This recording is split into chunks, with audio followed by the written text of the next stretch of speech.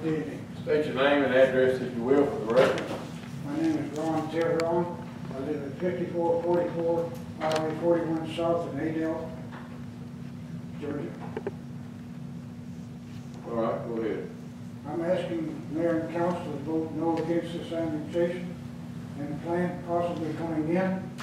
I realize you're looking at it as a monetary thing, but have you taken in the consideration of the human nature?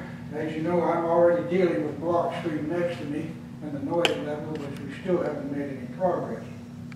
So the question I would like to ask you about on this plant site business, are they going to be grinding the material there to make the pellets on the site? And are, if they are, are they going to have it at least in a soundproof type of building where the noise level will possibly be held to a minimum?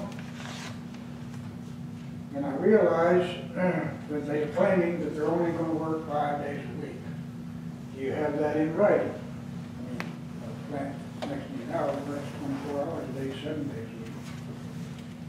But, uh, I guess that's mostly what I have against it. I don't want to go into step-by-step detail, it takes too long. But I'm asking you at this time to vote no against the project.